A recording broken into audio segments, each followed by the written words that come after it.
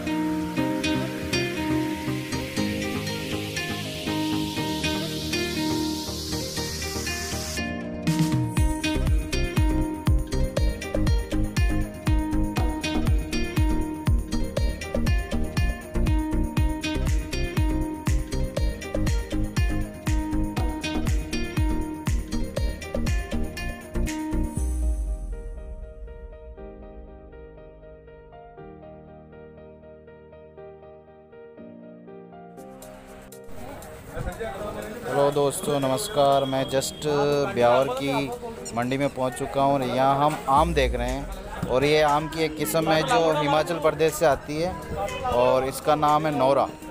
आप देख सकते हैं कितने बड़े आम हैं आप। बहुत ही ज़्यादा बड़े हैं। तकरीबन एक किलो का एक आम होगा। बहुत शानदार आम है और आप चाहे तो यहाँ से ले सकते हैं। हाँ। नौरा ना नौरा नाम की एक किस्म है। जो बहुत ही ज़बरदस्त था। और ये हैदर भाई ले रहे हैं शायद एक दो किलो या जितने भी पेटी लेंगे। बहुत ज़ोरदार आम है। नौरा नाम से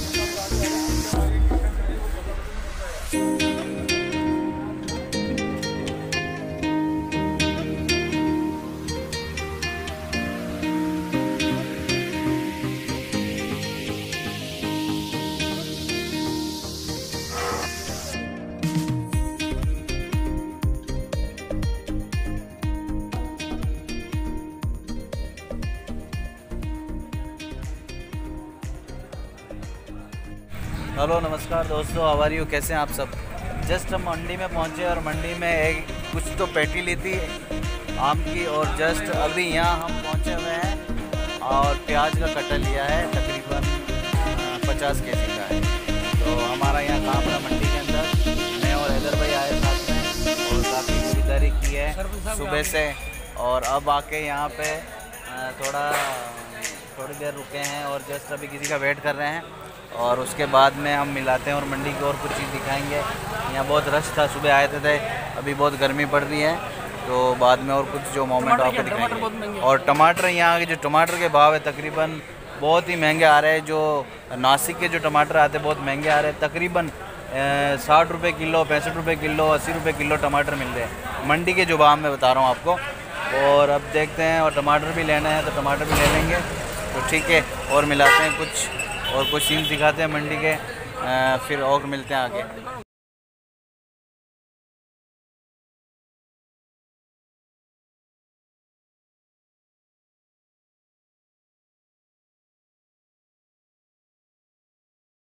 सकते हैं आप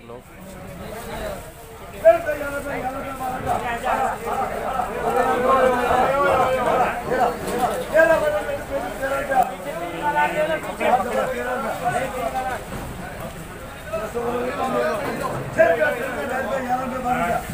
तेरह तेरह तेरह सोलह सोलह सोलह पंद्रह पंद्रह पंद्रह सोलह सोलह सोलह